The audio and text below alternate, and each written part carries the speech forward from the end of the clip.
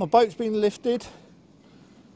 Merry Fisher 805 and there's a few jobs to do. So firstly, I've got to get the prop off. I had the prop done last year in March and I was coming back from Weymouth off it's an underwater object just outside Cowes. I was in plenty of water, God knows what it was, and it's uh, dinged the blade. Not too bad, but that's got to come off and be refurbed. Taking it off the Hamble propellers. So we've got to drop the rudder first, and then we'll get the uh, prop off. Also as well, we've got to do the Cutless bearing. That's uh, worn as well. And hopefully the shaft will be uh, okay. And clearly there's plenty of uh, work to be done underneath. Give it a light sand, a few anodes, and uh, that'll be that done.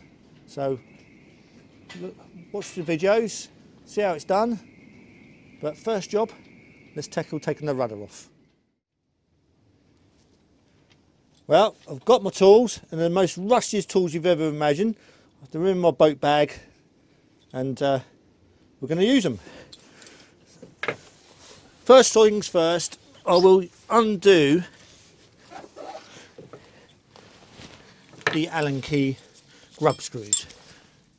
Now hopefully they'll be nice and loose because it's been not too long, there we are, lovely, since I uh, undone these. So uh, nice and easy, happy days.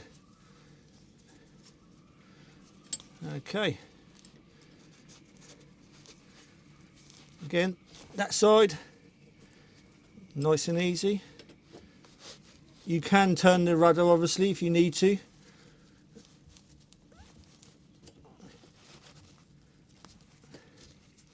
I'll give this a right greasing up the last time I had this off.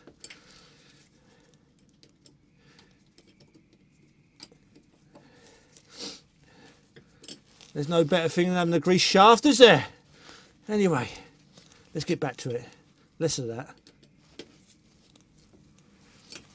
If there's a bit of heavy breathing, it's because I've got a bit of a cold. All left over from it anyway. Oh, needs a little bit more power there.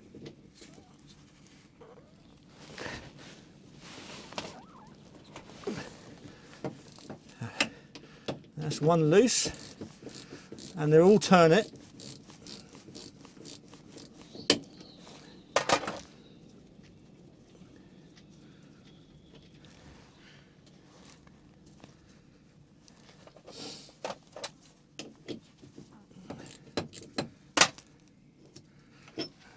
go. That's one out. I'll tell you what I will do first. I think is undo that bolt there first before I undo the next one and, and uh, go from there. I think it's a 17 mil, which I'm gonna have to go and get out my bag.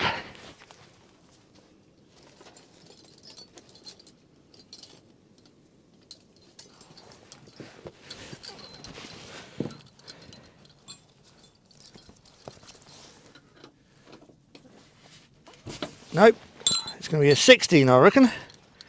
Is it going to be an awkward size? I can't remember actually. Been a while. I've got a feeling it's going to be an awkward size.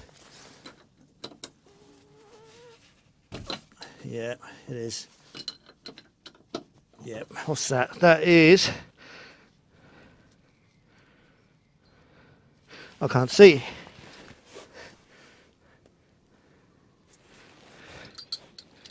Right. Let's find the right size, shall we?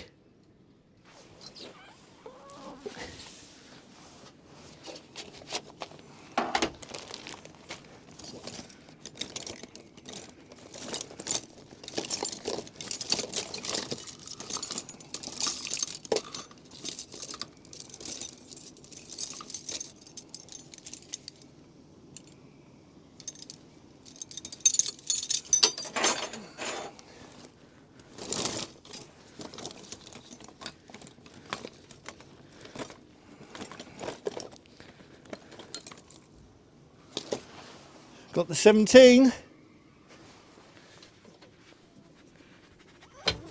Yeah, that's off. Loose.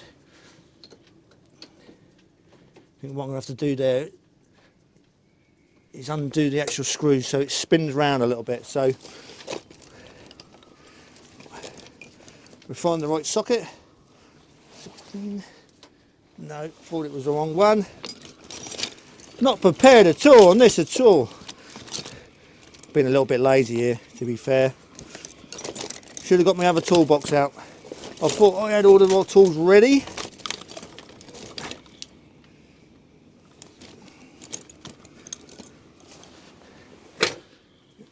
Yeah, we'll use an adjustable. There we go.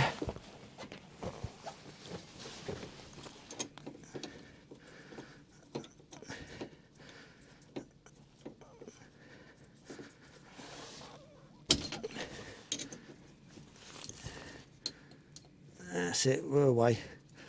Happy days. That's that one off. Just nice and loose on the collar.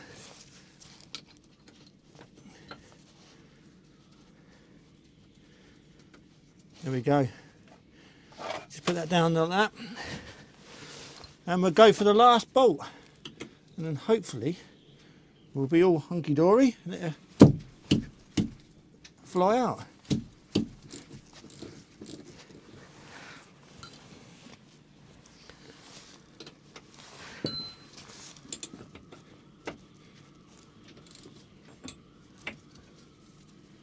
Oh, there's that gone.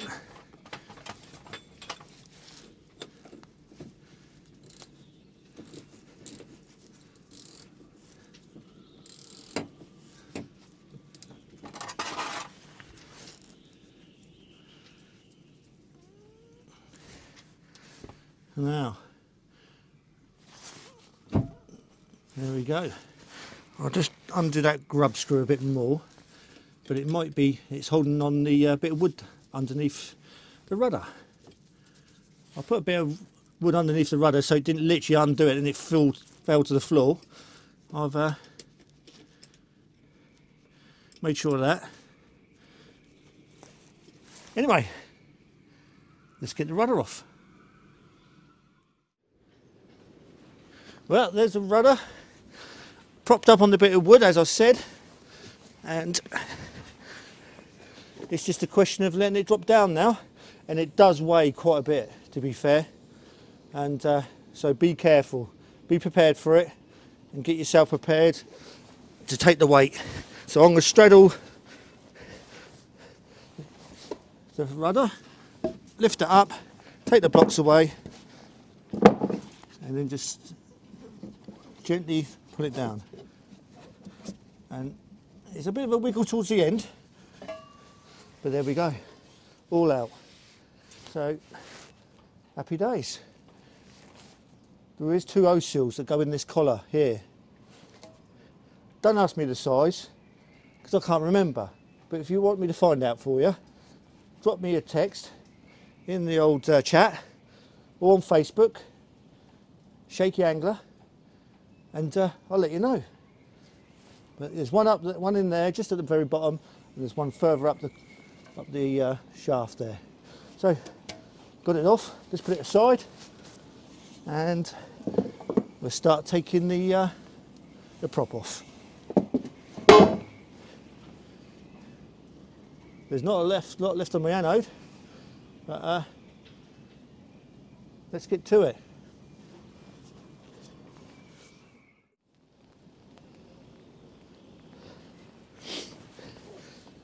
Well, Got an extension pole, got the spanner on it, adjustable. Let's see if this is going to come undone. Got the wood underneath the prop to, to stop it spinning. And uh, let's go for it. And will this come nice and easy? I can't remember. Look at that. Nice and easy. That wasn't too bad at all. Happy with that. Right, because the spanner, there,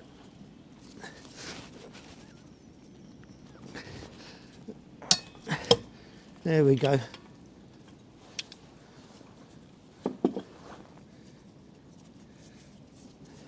And it's nice and easy. There we are.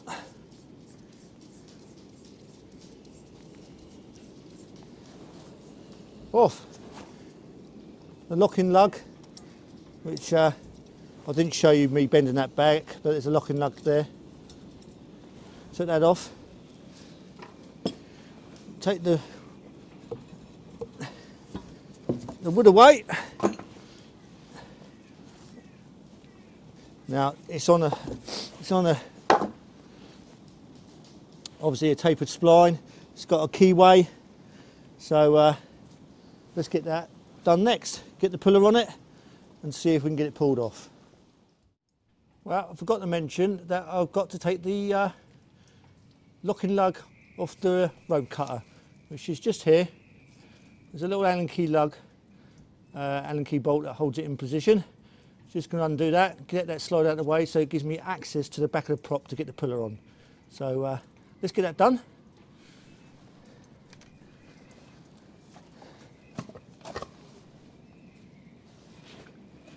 Now, what size is it, we wonder?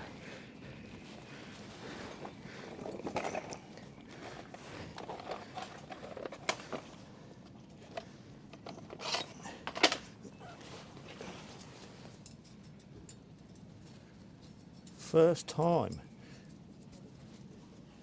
Yep, nice and easy. That's one beauty thing of when you've done this job before recently. There's everything's all greased up and, fairly easy to undo, which is nice. But what I do remember about this is it's half tight on the old shaft. That's for sure. And I can't remember if there's actually two lugs. So I'm going to take, I think there's a locking, there's one locking screw here that I'm just undoing, and I believe there's one underneath it. So it's a double locking system. Let's get that out. Let's make sure we don't lose that. Put that nice and safely. And I believe there is another one. No, there's not. I lied, didn't I? Let's see if there's another. No, just the one, which is good. I thought there was another one underneath, but obviously not.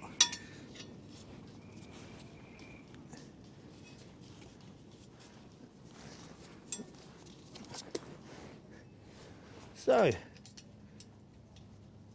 yep, that's that. So I am going to put that back where it belongs, just so I don't lose it.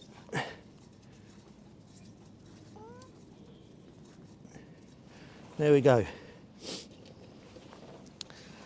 Now, I've got a nice heavy duty puller here.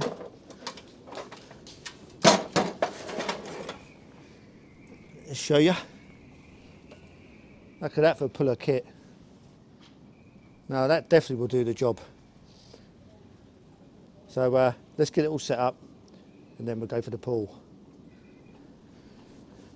What I will do is I shall put some sort of strap around that prop so when it pops it don't fly off at me because that will hurt because that thing is heavy.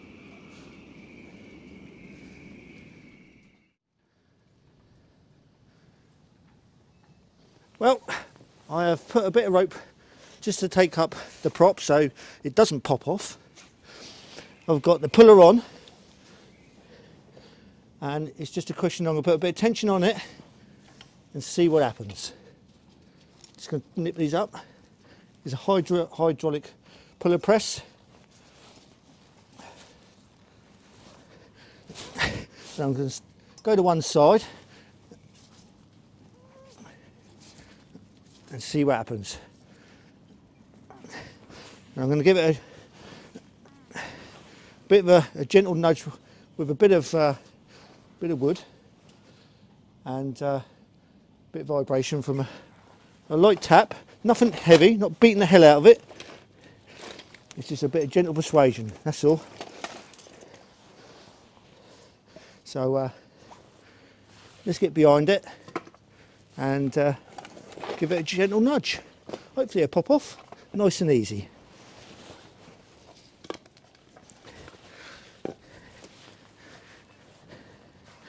the stick of wood just beyond it.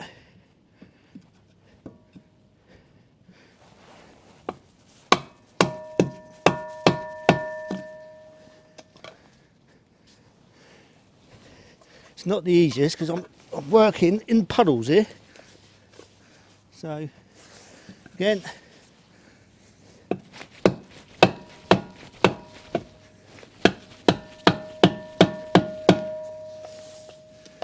give it a gentle bit more pressure.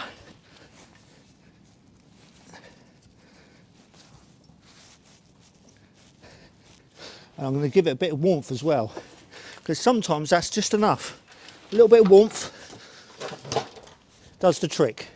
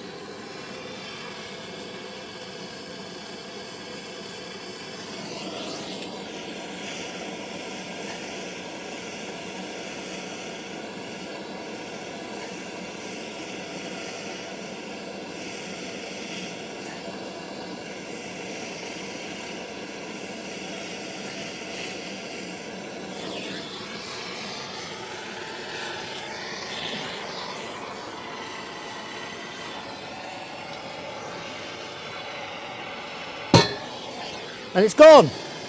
There we go. It's gone. A little bit of heat, just all you need sometimes. Happy days. Now, they do weigh a ton, these props. So make sure you, you grab hold of it before it drops it. You can see the rope. If I had not tied that back, then it would have shot straight off and you probably might have damaged the uh, prop, but and also you might hurt yourself. So we've done it the right way round. It's popped off, and uh, that's it now. It's just a matter of undoing the rope, getting it off. There's the ding on on the side there. You may be able to see it, may not, but it's all working out. More than happy with that.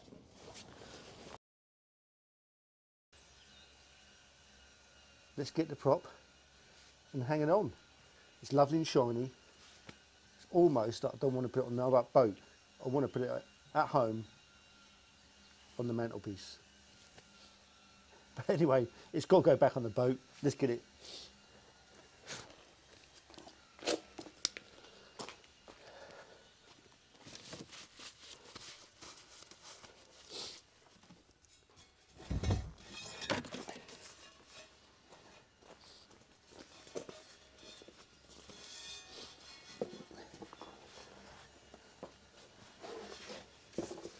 And there it is. Look at that lovely shiny prop. Absolutely beautiful. They've done an absolute lovely repair at Hamble propellers. And they've uh, always been really good with it, me.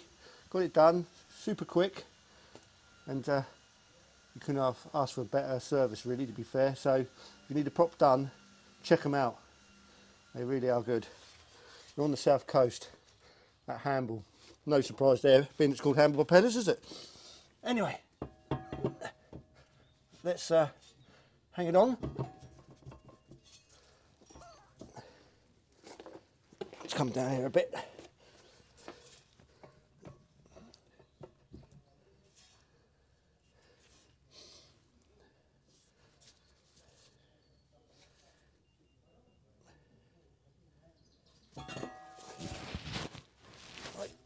Try. That's it. There we go. It's on. Not quite locating, locating it correctly, but it's on there. Happy days. Now, don't forget to put the locker washer on. Get that done. And obviously your end nut. Let's get the wire brush and give it a clean. Should have done this, shouldn't I, early, eh, earlier on, but hey ho, it is what it is. We'll come back to you. Well, washer's on. Time to put the nut back on and just nip it up. Simple as that.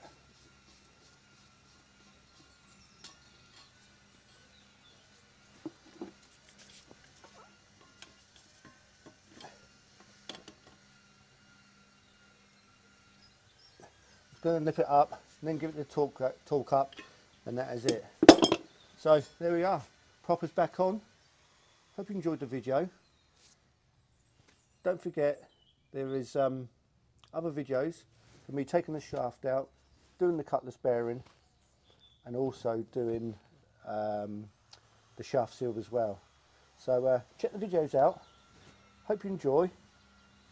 All about the Merry Fisher 805 and uh, you don't mind subscribing to the channel, it's appreciated. I'm not an expert in any of this, it's just how I do it. If there's a different way to do it, let me know in the comments. More than happy to learn something new, or something easier, or something better. So, uh, see you all later. See you next time.